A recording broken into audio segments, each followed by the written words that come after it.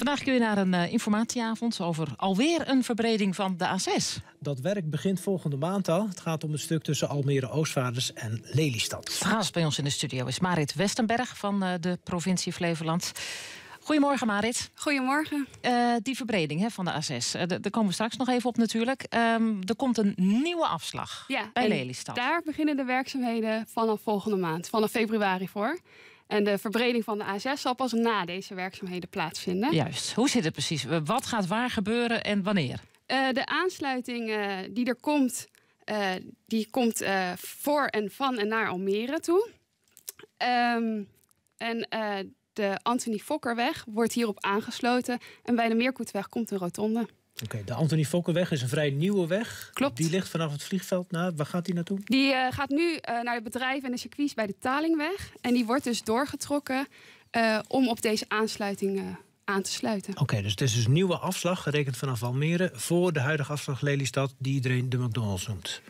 Precies, de McDonald's-afslag die, die wordt dan straks nog steeds gebruikt. Vooral Mhm. mm -hmm. voor het uh, verkeer van en naar het noorden toe. Want dat is voor hun de kortste route. Ja. Mhm. En het uh, verkeer van en naar Lelystad, dus naar de Randstad... die kan straks gebruik maken van, uh, van deze nieuwe afslag. Ja, zal het, is, zal het toch wel rustiger worden bij de oude afslag, om het zo te zeggen? Want er is s'avonds om vier uur is er al vol die... Daar gaan wij wel van uit. Dat is ook de bedoeling waarom, deze, waarom wij deze aansluiting aanleggen. Omdat het vooral s ochtends, maar ook s avonds inderdaad behoorlijk druk is bij de McDonald's-afslag. Uh, ja. Hopen wij het verkeer zo beter te verdelen. En Ja. natuurlijk is het ook voor de bereikbaarheid van de bedrijventerreinen in het gebied. Ja, tijdens de werkzaamheden zal er, ja, dat zal dan wel denk ik voor een beetje extra vertragingen gaan zorgen, het langere files. Er zal uh, vanaf half april tot half juni extra reistijd zijn op de A6 voor de weggebruikers. Het komt omdat zij dan langs de werkzaamheden rijden.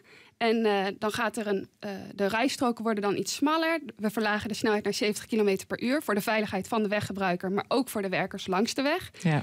En uh, dat zal leiden tot extra reistijd. Maar er blijven wel altijd twee rijstroken naar Almere beschikbaar. En twee rijstroken naar Lelystad. Ja, ach, en een half op het en is die uh, snelheidsverlaging op de snelwegen toch al ingegaan.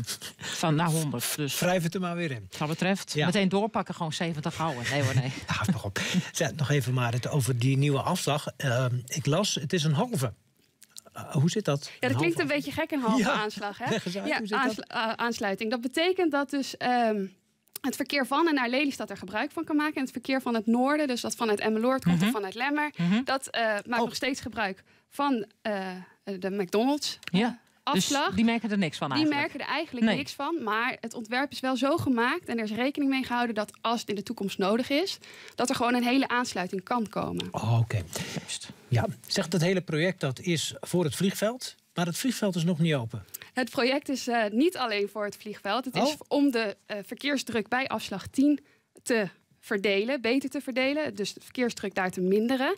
En dus voor de bereikbaarheid van de bedrijventerreinen. En in de toekomst, als Lelystad Airport open gaat, natuurlijk helpt dat dan ook mee. Ja. Om die, uh, Maar eigenlijk staat het er los van. ja, het is Ja. een losstaand project. Ja. Maar mag dit van de stikstofpolitie? Ja, wij, hebben, wij zijn dus een losstaand project.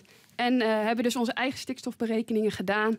En dus na de Raad van State uitspraak nog een keer gedaan. En wij voldoen aan alle normeringen. En kunnen dus gewoon aan de slag. Ja. Nou is er vanavond dus een, een informatieavond. Um, hoe laat? Waar? Uh, vanaf vijf uur uh, begint de informatieavond bij Boer Kok aan de Meerkoetenweg 9. Mijn collega's van uh, de provincie zijn dan aanwezig en de teamleden van Heijmans om vragen te beantwoorden over, over die halve aansluiting, het ontwerp, de Meerkoetenweg, de Anthony Fokkerweg. Mm -hmm. En onze collega's van Rijkswaterstaat zullen er ook bij zijn om te vertellen over de verbreding van de A6 die na onze werkzaamheden plaats zullen, zal vinden. Oké, okay, vanaf vijf uur inloop, je hoeft niet precies daar te zijn? Nee, er is geen vast programma. Oh, Wanneer het schikt kan je langskomen. Dat is handig. Ik wil nog even weten wat het kost, het hele spul. Ja, dat wil Leo altijd weten. Bij ja, ieder wel. onderwerp dan wil Leo even, even, even prijskaart. Nou ja, we betalen toch met z'n allen? Ja, ja, voor de halve aansluiting en uh, de Anthony Fokkerweg en de rotonde bij de Meerkoetenweg is 25,8 miljoen. Oké, okay, en er komt er nog wat geld bij waar we ook aan betalen van Rijkswaterstaat voor die verbreding van de A6. Dat, dat is weer een ander bedrag. Dat is een ander bedrag en dat is een losstaand project van Rijkswaterstaat. Oké, okay, jij was van de provincie Flevoland. Precies. Hartelijk dank voor de toelichting aan de komst naar de studio.